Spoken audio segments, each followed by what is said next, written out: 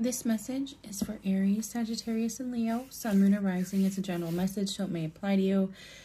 Um, if it doesn't, then you want to check out your Moon and Rising. So, the first two cards I got was the fish in balance and the wolf out of balance. The fish is a lot about adapting to change. They go with the flow, they go in the current, they let they move, move, move, and they just keep changing and moving and um, change of sceneries, change of everything. Change is important right now for you. And what's out of balance is the wolf. That is um, being stubborn, stubborn, letting things go from the past, um, getting kind of stubborn with the other, the way other people think, and not understanding why they aren't thinking the same way, doing the same things as you. And I think right now it's time to change that mindset and move into better waters. The past card I got was the Seven of Swords with the Eight of Swords. So this was you were blinded to some sort of deception, some sort of backstabbing, some sort of lying, anything like that. You were just you were decepted and you were blind to it. You didn't you didn't really see what was going on. And I also got the Nine of Wands with the Hanged Man. So that is a lot about keep being prepared for a fight, determined for anything, any uh, any situation to come arise. Um, in this situation, I feel like you were over prepared. You were over prepared. You knew something was going to happen, and I think, um, I think you had that intuition. I keep seeing the moon all through this, and I think you had that intuition, but you didn't really listen to it um, because you were kind of blinded by the situation. Um, and right now you're kind of stuck in a position where you have to constantly be, well, in the past you were stuck in this position where you had to constantly be prepared. You weren't really taking any action. You were just letting things happen, letting things go the way they need to, but you weren't, you realized the deceptive behaviors. And you saw it, and I think um, it made you even more prepared made you even more prepared for any new situations that would come and you're holding on to this really tight. You were kind of lost as you can see. She's lost with the deception and the lies and the and you know the dishonesty and manipulation. You were you were lost in it. You didn't know that it was really happening to you but it was. And i think your gut really told you to to follow that. And um, now, what I got for your present was the Page of Pentacles with the Three of Pentacles. Page of Pentacles is a lot about somebody that's learning to be patient with new experiences that happen in their life, learning to grow that stability and, um, you know, hold on to things that are worth holding on to and letting go of things that aren't worth holding on to. The Three of Pentacles is it, you were really working hard towards that stability. Maybe you are working with a few people in your home towards a more stable home. Maybe you are working with, you know, coworkers or employees with, you know, um, really focusing on that stability and making things better for yourself. You're working hard, and I think others were starting to see it, though, even though you were trying to be patient, you were disappointed. You were disappointed in your home life, in your job life, in, in anything that you normally would feel stable in and comfortable, and you were just disappointed by it. Um, and this could happen soon, or you could just right now be disappointed. And it, i think the the life the life home life was so unstable that you were starting to feel like you needed to hide away from everything. You needed to just get away and not be there and um, especially get away from whatever this situation is. I think your guards up so much from from being blinded and then all of a sudden it's showing up. You know, you were blinded by this deception and then all of a sudden you saw it and and you're like, "No, mm-mm." And then I also got the death card with the ace of swords. Death card is getting rid of toxic people, getting rid of toxic mindsets, getting rid of any sort of um, situation in your life that serves you no more purpose. You're ready to cut it out. You're ready to get clarity on the situation and see exactly what it is. And I don't think um, you're really liking what you see right now. I think right now you you just you just want something so stable, but there's something preventing that from happening and um, you could be just having a really bad mindset on things uh, because of your past with deception and it's not letting things become stable in your life the obstacles that i got was the six of wands and the king of pentacles. So i feel like you are not being recognized. I feel like if excuse me if you are trying to speak up and say something and finally do something about this and just letting things change and letting things go um, you're not being recognized and that's really bothering you. Like it's like the situation is getting kind of brushed under the rug and that's really bothering you. Uh, it seems like um, there is maybe an older person that could be this could be a father this could be just an older person.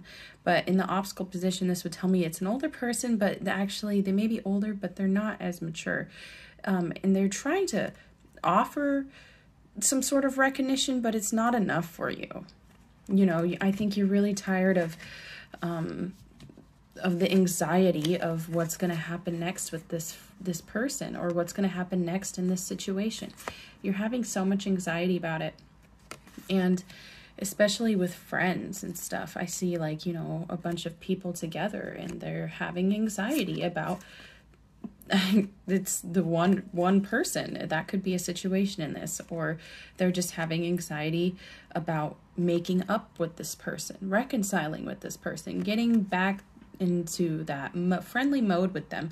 They're having anxiety about it because I think they may have deceived you in the past, this person, or or there was a situation that was deceiving you in the past and now it's preventing you from making new friends. It's preventing you from going out and doing new things because this anxiety and you're not really recognized getting recognized by whatever the root of the problem is. It's it's it's a problem.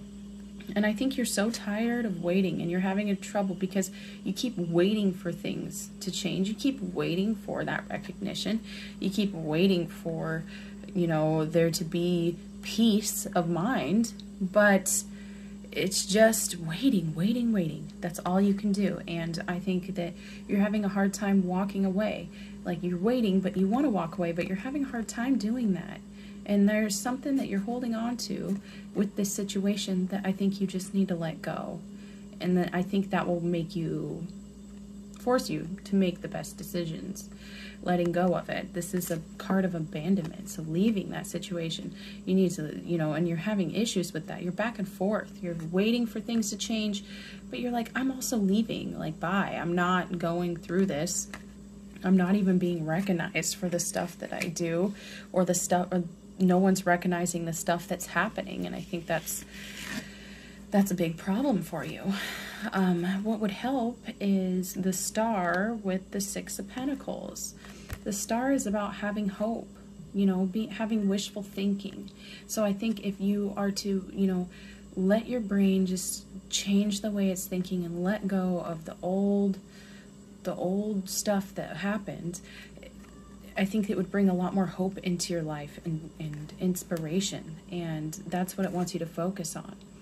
And I think what would help too is being, well, what I get from this is giving your time to the right people. I think there's people to give your time to, and there's people that not to give your time to. And I think you learned from the past, from that deception in the past, that some people are not worth it, especially if there's somebody that's coming back in your life or somebody that's been in your life and there's always going back and forth. Yes, no, yes, no. Mm-mm, no.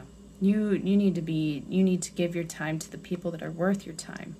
not the people that are, you know, they're exhausting you. I see like he's holding all these behind him right here and he's offering one, but that's good because these are all your all, this is all your energy. That's what I'm seeing right here. This is all your energy here. And you need to give your energy to the right people.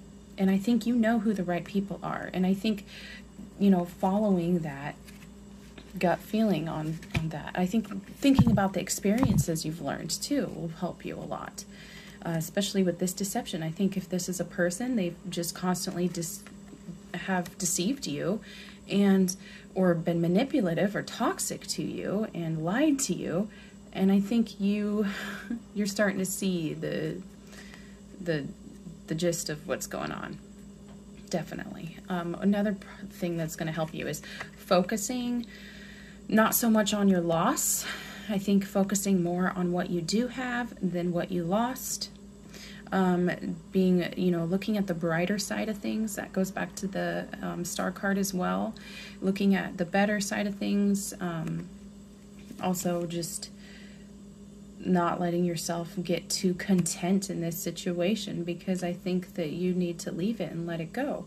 Or not get too content in your psyche about the way you think about things. And I think it's time to let that go.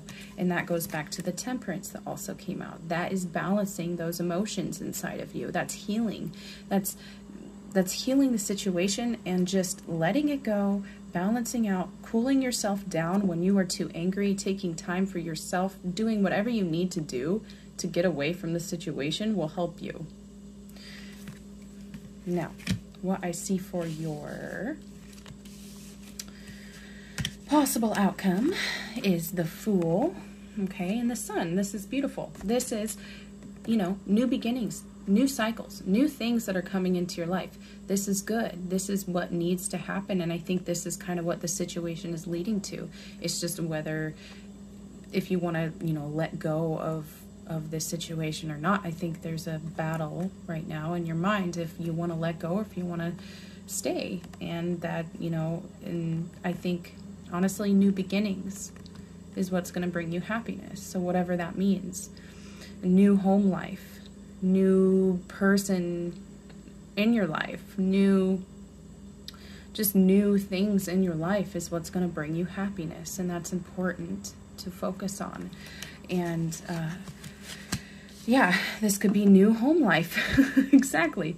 And this came out as well in the possible outcome. So definitely if you're if you're in a bad situation in your home it is time to start new. And that could be just new new anything. I mean, this could even be a job too. If you're having a hard time at your job, if you're not feeling great about your job, new, new job.